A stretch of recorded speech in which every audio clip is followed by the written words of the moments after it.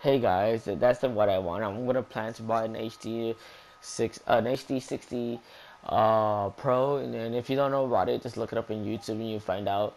And I'm about to get, I'm planning to save up for a PC and that, so it's gonna take me about a month or two. and So when I get everything set up, I'll tell you I'm already recording through the. You probably would notice the difference from the like quality and all that.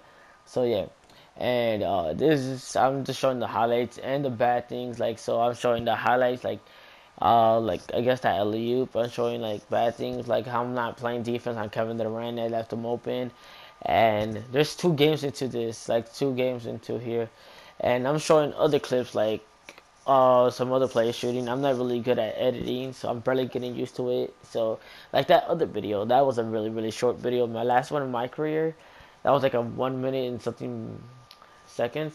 But yeah, I'm gonna try to make the video. I'm trying to make the videos longer. I know this one is really short, so yeah. And uh, like if you guys like the thumbnail, gonna, i keep trying my best. Like right here, I got vlog on Klay Thompson, but I'm coming back. Look at this play. I came back and I came back stronger. So I just went to the paint. Like Klay Thompson gonna stop me. And yeah. Uh, and what else? Like if you guys like the editing, please tell me like if you like it or not but I'm gonna try to focus on like when I'm gonna try to focus on the HD 60 Pro, so I can edit more. Because apparently in Share Factory I can't edit like that. Because there was a video like you know the beginning how you make your player, and it, you're playing Park and you face two team like you face twice. You go three on threes and then you go to a five on five.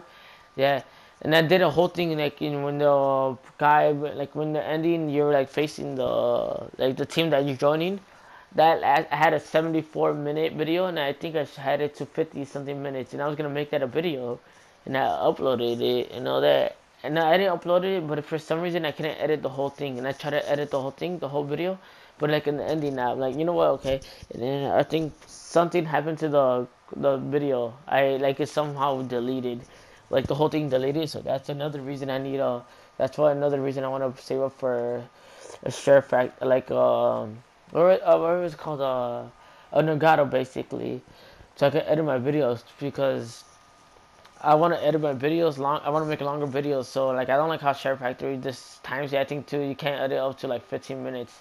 Basically, you can't like after 15 minutes you can't like fix it like say the video is like 30 minutes and you can't fix the rest after the 30 minutes so yeah peace. So